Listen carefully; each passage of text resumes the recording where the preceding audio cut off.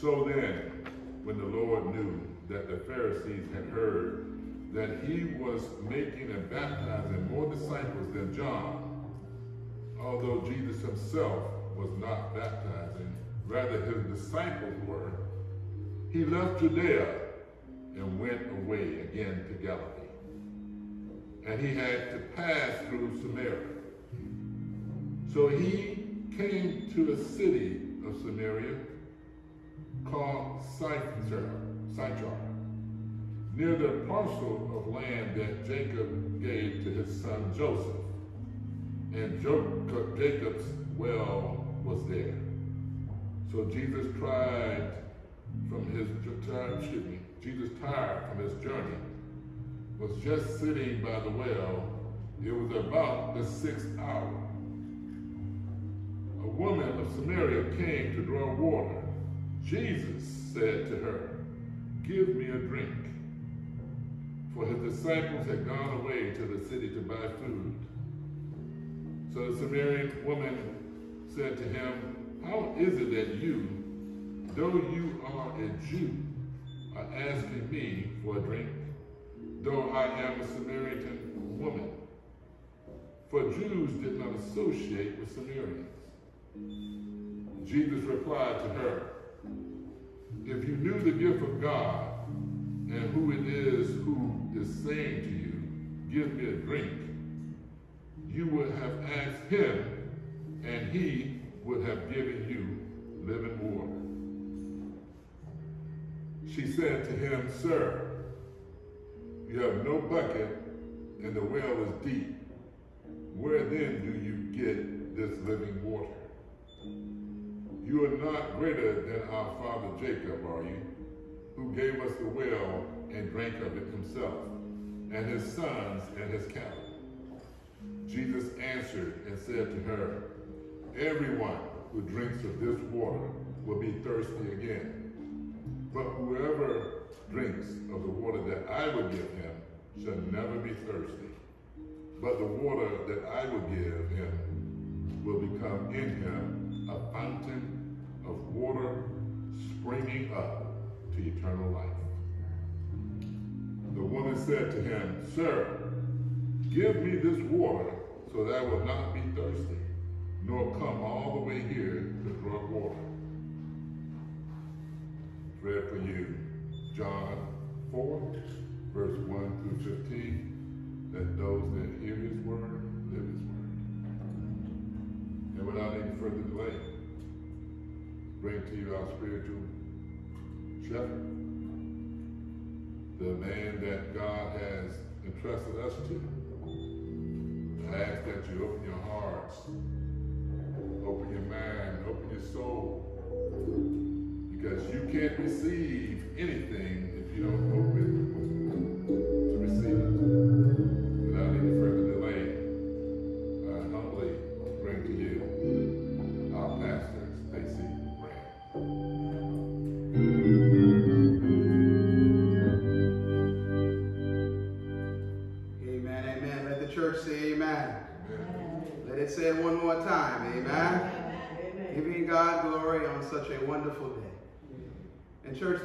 the bottom of my heart. I truly appreciate it. This year has been a whirlwind just with COVID and all of those things, but God has still held us together and I think has made us stronger.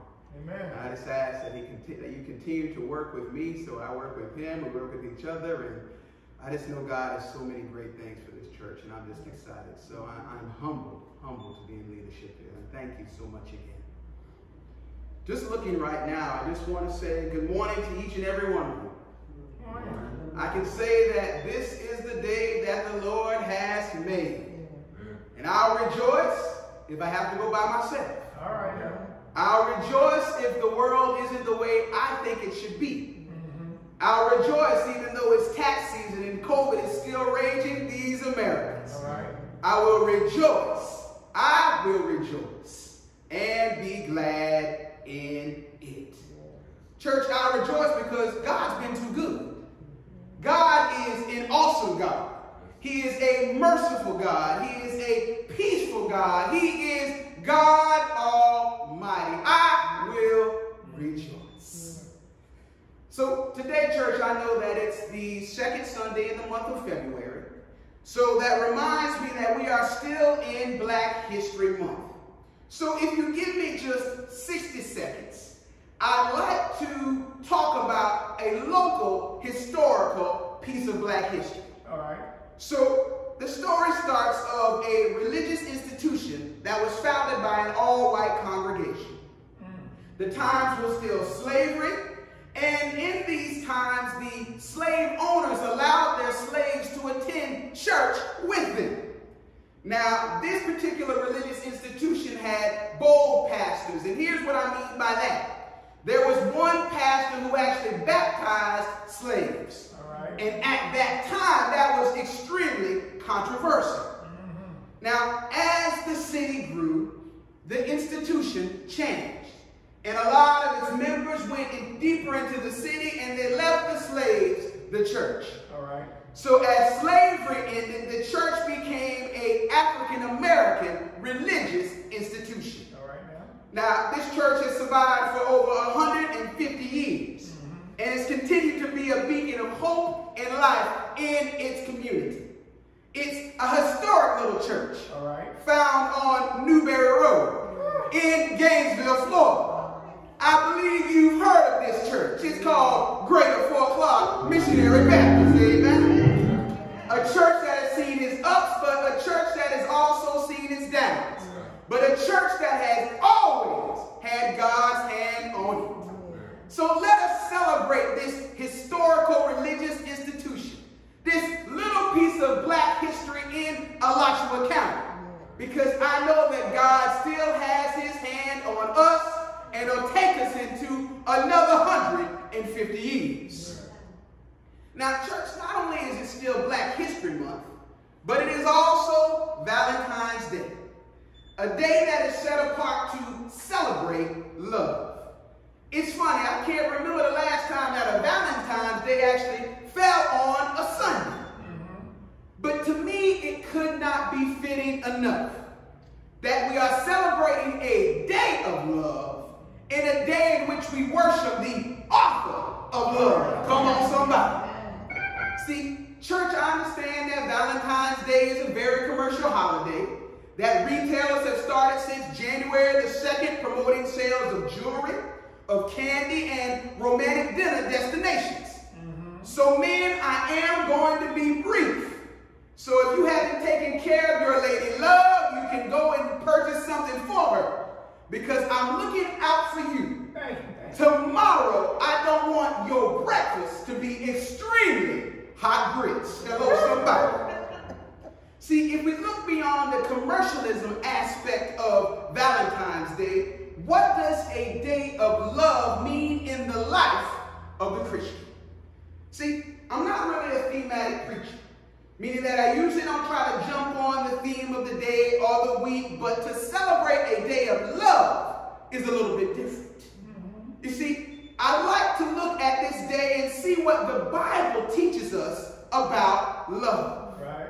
See, the Bible in no uncertain terms tells us that God is love. That there is no greater love than this, that one lay down his life for his friend. That for God so loved the world that he gave his only begotten Son, and that whosoever believeth in him shall not perish but have life everlasting. See, the Bible is full of love because love is the essence of who God is. So I look for a text that would embody the love of our God. A text that would be appropriate for today's discourse. And I was led to what we found in John 4, actually 1 through 49.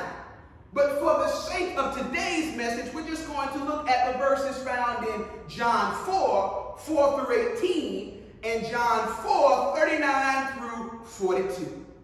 And actually, I'm going to start a little lower than that because it was read so eloquently, and I just want us to pull out the things that we need for today's message. All right. So if you have your Bibles with you, I'd like for you to turn to John 4, and I just want you to look at verse 7. And it reads, There cometh a woman of Samaria to draw water. Jesus said unto her, Give me a drink. For his disciples were gone away into the city to buy meat. Then saith the woman of Samaria, Ask him, How is it thou, being a Jew, ask me for a drink, which I am a woman of Samaria? For the Jews have no dealing with the Samaritans. Jesus answered and said unto her, If you knew the gift of God, and who it was that asked thee, Give me a drink, that would have asked of him, and he would give you living water. Going down to verse 15. The woman said unto him, Sir, give me this water, that I thirst not, neither come here to draw. And Jesus said unto her, Call unto thee thy husband, for him to come. And the woman answered and said, I have no husband. Jesus said unto her, Thou hast said well, I have no husband. For thou hast had five husbands, and thou whom, whom you're with now is not your husband. It is said thou truly. And the woman said unto him, Sir, I perceive, perceive that thou art a prophet from God. Going down next into the 25th verse. The woman said unto him, I know that Messiah is coming, which is called Christ. When he is come, he will tell us all things. Jesus said unto her, I that speak unto thee am he. I that speak unto thee am he. Oh, hello, Holy Ghost.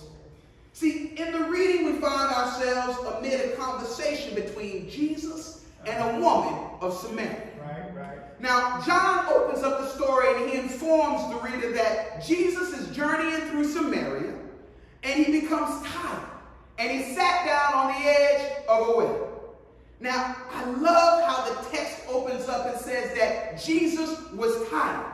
Because that means that just as I become tired, my Lord and Savior also became tired. That deity experienced the same thing that happens to me after a long day of work. Wow. That deity experienced the same thing that happens to me when I'm in a car ride for too long. That same fatigue that overtakes my body, Jesus experienced it and more. See, Jesus wanted to experience it because he wanted to know all that it meant to be human so that he could take everything to the cross Right. for your sins and for my sins. He knew us better than we knew ourselves. So the lady from Samaria comes as he's sitting there on the well. And Jesus asked a simple question Will you give me a drink? See, in our modern society, this doesn't seem like there's any problem with it. This doesn't seem like there was any issue. But in the ancient world, for an unmarried man to speak to a woman was not customary. See, not only this, but Jesus was a Jew, and the woman was a Samaritan. See, Jews and Samaritans had a checkered past. And this was something that was not performed in that society for a Jew and a Samaritan to interact. See, I liken it to a black man who was speaking to a white woman in the height of the Jim Crow South. See, it was a conversation that would have gotten them in a world of trouble. That's right. So Jesus asked for a drink, and the woman, she checks him. Yeah. And she replies and says, You asked me for a drink? Uh-huh. See, remember, Jews and Samaritans didn't get along. Then Jesus lovingly responds and informs her that if she knew the gift of God Yeah. and who it was that asked her for her drink, she would have asked him for a drink and he would have easily given her living water. My. Now, when the woman hears this, she still is thinking with her natural mind. She informs Jesus that this well is deep, and where would I get, or where would he get the living water? Yeah. She obviously saw that he had nothing to draw from, and nothing to put down into the well. So naturally, where would this water come from? Jesus tells her that if you drink of this well's water, you're going to thirst again. But if you get the water that I can provide, the water that can only come from me, you will never thirst again, and it will come up in you and spring up into eternal life. My Lord, I tell you, I feel like preaching today. Amen. So after he tells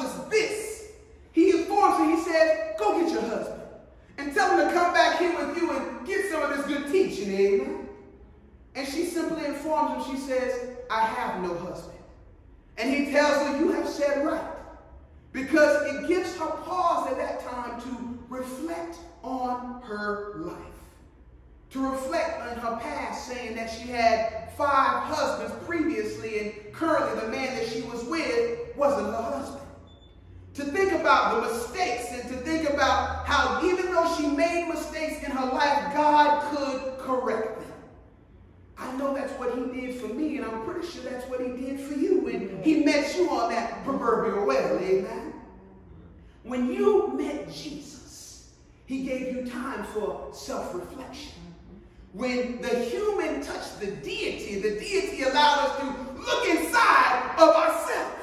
Yeah. But see, not only did he cause her to think, but he also revealed to her who he was. That's right, that's right. See, she had a little theology. Yeah. You know, she'd gone to Asbury and she took a couple of courses there, man. Some seminary of sorts. And she had a little theology on her side. And she said, you know what?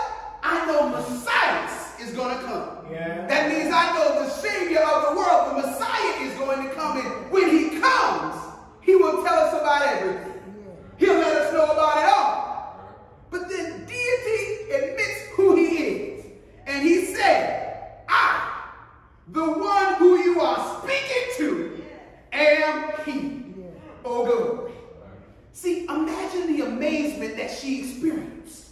Imagine the happiness that came over her when she recognized that God was there in front of her, that Christ was talking to her in person, the Christ that was foretold, the Christ that can heal the sin sick soul was in flesh yeah. in front of her. So she went to town.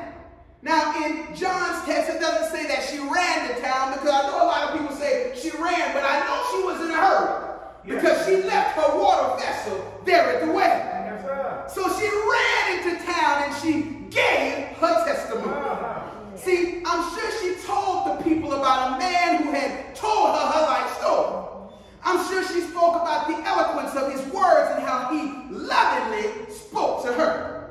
I'm sure the words were so convincing that they sparked interest on how they could also receive this living water. See, her words were so convincing that the crowd went to seek Jesus. Mm-hmm. They themselves wanted to meet the Christ. Now, church, is funny about a testimony. See, when it's genuine and when it's heartfelt, that someone who will hear it will be convicted. And when they're convicted, they'll want to turn to Jesus. But this testimony was like none other. Because she testified in the midst of a crowd, and the crowd went to go see Jesus. Or imagine us testifying in front of a crowd.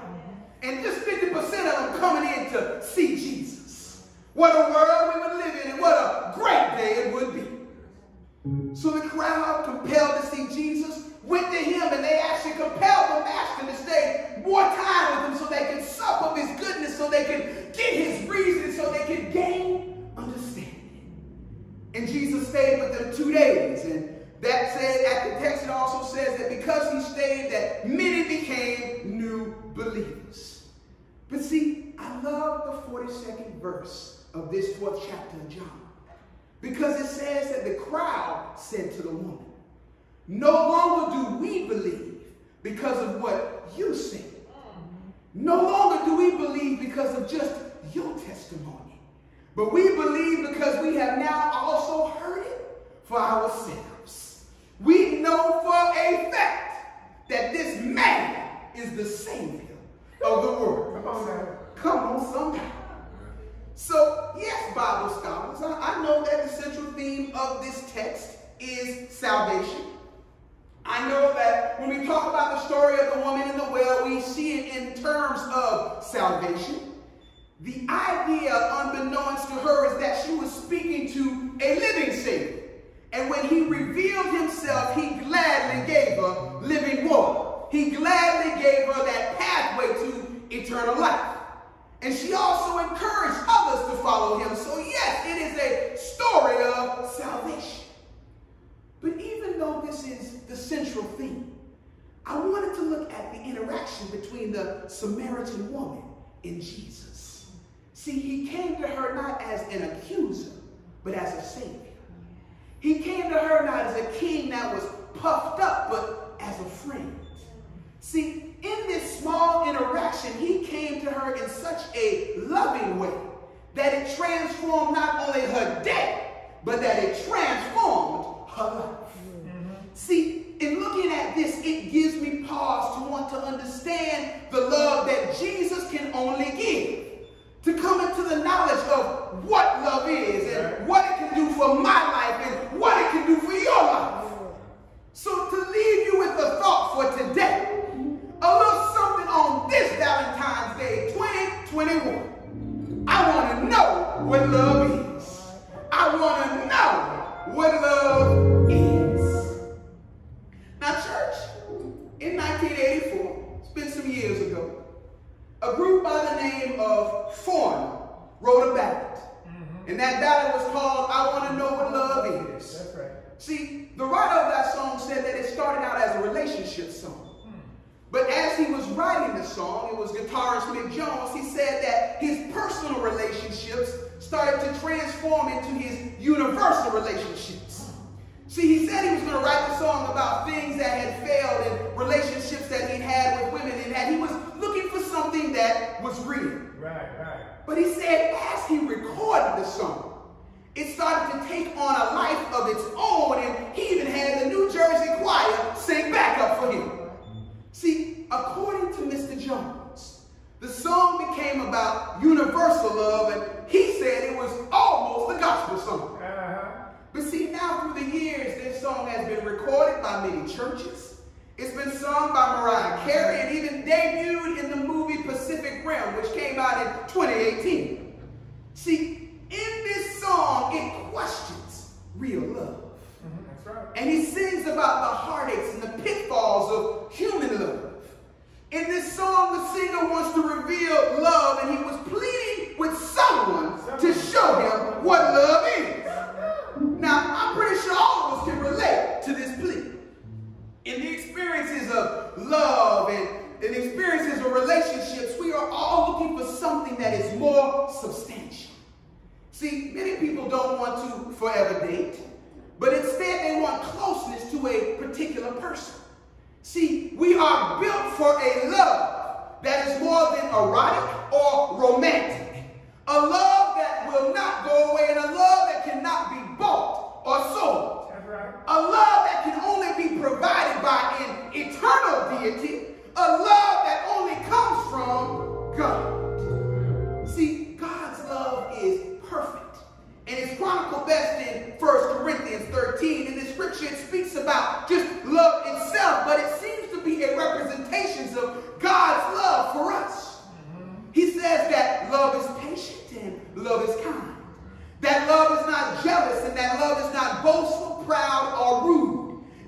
Not demand its own way. It is not irritable. It does not keep record of being wronged. It does not rejoice about injustice, but rejoices when the truth wins out. Love never gives up. Love never loses faith. Love is always hopeful, and love will endure under every circumstance. Yes, this is the type of love we aspire to have. But this is the very love that is given to us by God. See, the question is then posed how do we obtain this love? Right. It is simply a gift from God. It is not something that we must earn. But this love, i.e., His love, is something that we must trust. See, when I think of this, I recall a story about the little girl whose grandmother was baking cookies with her. And she said, Grandma, why do your cookies always taste so good? And her grandmother responds and says, Baby, because in each bite, I put a little love. See, if grandma can do it, why not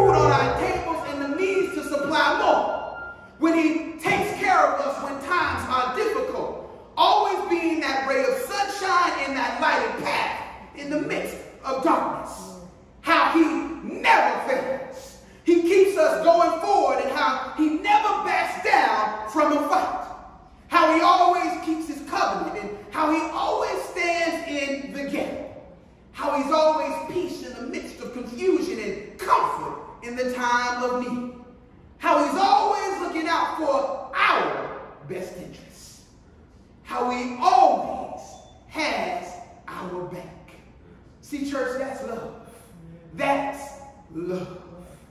But see, not only is it, it an unlearned or unbought or undeserved, but it's also a love that is eternal. See, Romans 8 35 and 37 through 39 says it best. Can anything ever separate us from God's love? Does it mean that he no longer, no longer loves us if we have calamity, or are persecuted, or have hunger, are destitute, are in danger, are threatened with death? No, despite all these things, overwhelming victory is ours. No, despite these things, victory will see us through because it is victory that gives us through Jesus Christ who loved us the best. See, I'm convinced, church, that there is nothing, not even the storm or the rain, mm-hmm. that there is nothing, not even wars or rumors of wars, that there is nothing, not even a pandemic that is still in our country, that there is nothing, not even fear of the unknown, that there is nothing, not even anxiety and depression, that there is nothing, not even a downturn in the economy, nothing that can ever separate us from God's love. Church, it is eternal. It is forever, and it will always be with us. But now let's look back to the conversation with the Samaritan woman. When she started to draw water on that day, she never in her wildest dreams would imagine who she encountered. Right. See, Jesus was most likely not even on her radar. Yes, she may have thought that she would have saw other women at the well, but the Savior of the world, never in her wildest dreams. On an ordinary day, performing a necessary but menial task, love in the form of Jesus Christ showed up at that well. Yes, it did. See, love in the form of Jesus Christ introduced himself as a Jew speaking to a Samaritan.